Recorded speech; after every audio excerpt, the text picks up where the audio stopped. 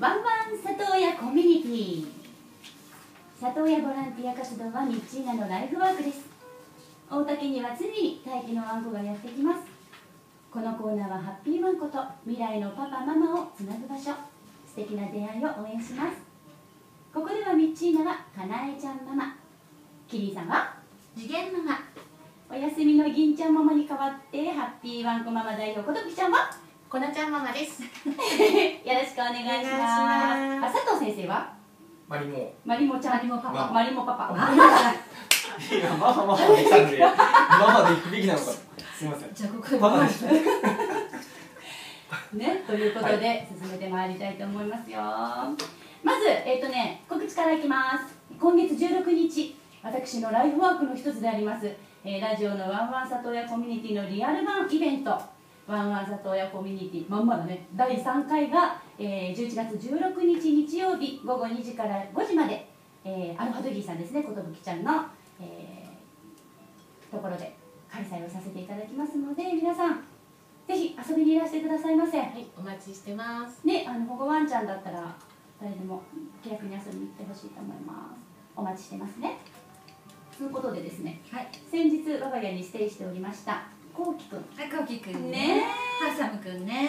みんながお名前一番呼ぶのこうきの名前を過去過去のね子犬ちゃんたちの中で一番名前をたくさん呼ばれた子だね。っていうか、私だよ一番ね、もうなんかそうだったこうちゃん、こうちゃんって、何それっていうぐらいね。可愛いでしょなんか特可愛いでしょ別扱いなの。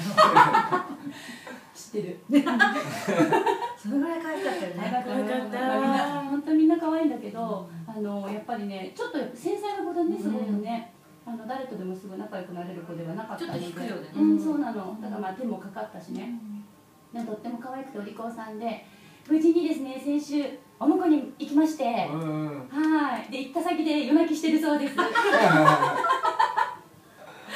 ねあのねまああの保護犬に限らずなんですけど、まあ、環境が変わるってやっぱすごくストレスが大きいんだと思うんですよねでもよく言うんだけどねキネさんともあの犬って必ずあの今を受け入れる動物だから。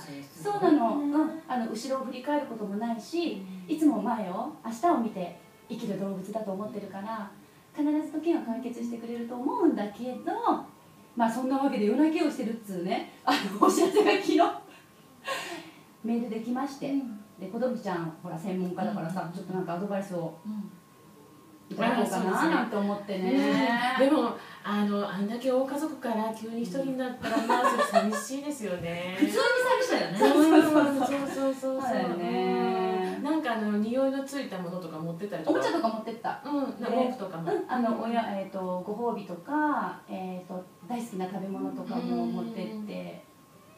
ね、うん、でも夜泣きしてんだって。そうなるほどね。夜泣きも可愛いじゃない。そうなのよ。夜泣きしてるって思えばでね。うん。そう。あのね夜泣きしてたなあの頃はって必ずなるの。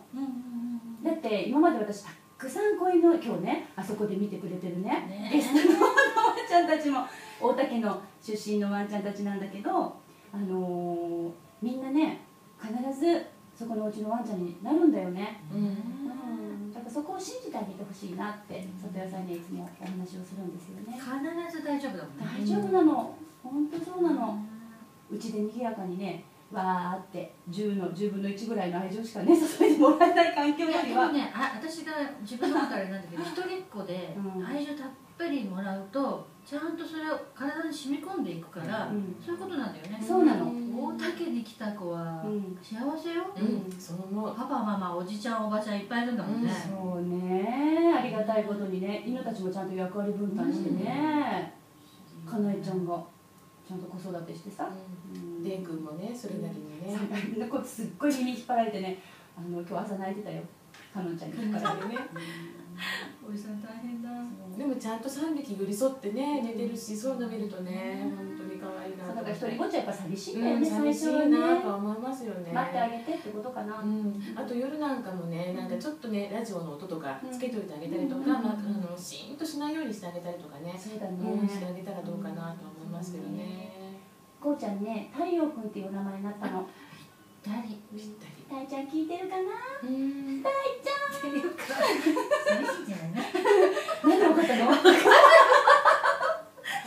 入れ込みやったら。だからさ保護犬ってさ、幸せだよね、みんながこんな、こうちゃんの話するだけでさなんかうるうるしちゃうもんね、こんなにたくさんのね人に思われてさ、本当幸せだと思う。今に逆転するから大丈夫よ。そうそう、うん、まだねあのあそこにいるねエディとプリもそうなんだけどね、おばちゃん久しぶりって言ってあのなんかねじゃあねバイバイって帰ってくんだよね。大丈夫かしら？って全然大丈夫な。よろしくやってるっていうね。そうそう。大丈夫よろしくやってますから大丈夫ですよっていうのはですごい心配するのおきりさんが。いや私は初心者だからさ大丈夫かな？どうしてるかなって言ったら、うん。一言よろしくやってますから大丈夫ですよ。よろしくやってます本当そうだろうねそれが幸せなんだもんねそうそれがね犬っていう動物なんですよねゃんもね少し他の子よりは時間がかかるかもしれないけど、待ってあげたら。次に会った時はねもうあおばちゃんそうそう 久しぶりっつって「じゃあね」って帰ってくる。ち 大丈夫。まだあのかのちゃんかのちゃんいるからね。かのちゃんね。おてんばのね。ぶっ飛び娘がいるからねじゃあこうちゃんのパパとママにお伝えしとくそうやって。うん。ねお待ってあげてねってね、それでねもう一つお話していい？はい。あのさっき K9 のお話したじゃないですか、はい。でねあの保護ワンちゃんいっぱい来るじゃない、ううんちに。う、でねそういう卒業生の子たちでねなんかやりたいねって言って前から言ってたのね、うん。で K9 いいじゃないっつって。すごくいいと思う。楽しいわ、あのね2チームぐらいあります。保護犬だけで作ったチームとかってすごい素敵だと思いますね。ね大竹 OB いっぱいいるよ。うん確かにほんとじゃあそれあの、うん。ああの例のプロジェクトで。そうなの。やったらよろしいそうなんです。チーム01でね K9 チーム作っちゃおうかなってね。楽しいこと誰にもやるよ誰にも相談してないのに生放送で言っちゃうっていうね。いいいことしかやらないうんそうだよねピンクのさんも二人になったし力強いわ一人になっちゃう大田無理ねなんかそういうことしながらさ、うんあの保護ワンちゃんと一緒に里親さんが楽しめるね機会を提供してあげたりとかっていうのをまた猫ときちゃんたちとやっていきたいなってで本思ってるんだ当にさっきのねあのゲストの方じゃないけど、そうそういうことでしほら散歩したりとかさ、やってるじゃない、うん。トルシャンとかもさ、うんうんうん。だから機会を増やしてあげることだよね、うんみんながみんな飼えないからさ、ね。で無理に飼うからポイってこともあるから無理しなくても楽しめる方法があることにすればいいわけでしょ、そうだね。方法が一つ分かったよね。うん増えたよね、うん。そういうことだ。ね。ねなんかいいな私たち。でしょ？ねいいですねだけにピンク着てないで君も来月からピンクにしな。そう思った惜しいなと思ったよ。来てくれば惜しかったのに。さあみんな。みんなね。さあ来月は銀ちゃんママまだお休みかな？来月も銀ちゃんもお休みそうだね。年明けからまた復帰してきます。ね。はい。ちょっとまたあの K9 のさ 銀ちゃんのさパフォーマンスの話とか聞きたいんだよね。脱走しなかった。てんちゃんね脱走しなかったけど今回のあの銀河くんママが面白かった。そう。あちょっとブログで発表していただそうけね。軽くね。軽くね。楽しみにしてますので、はい。はい、さあレインボーガーデン。虹のお庭に遊びに来てね。聞かせて。何が知りたい？教えて。あなたのこと。何でも話して一緒に考えましょう困った時はワンワンマン1内アクセスしてね。会えてよかった。家族になれてよかった。知っていただくことで今日も明日も救える命がきっとあります。ワンワン里親コミュニティ。人と技術の広場株式会社フォーラムエンジニアリングの提供でお届けしました。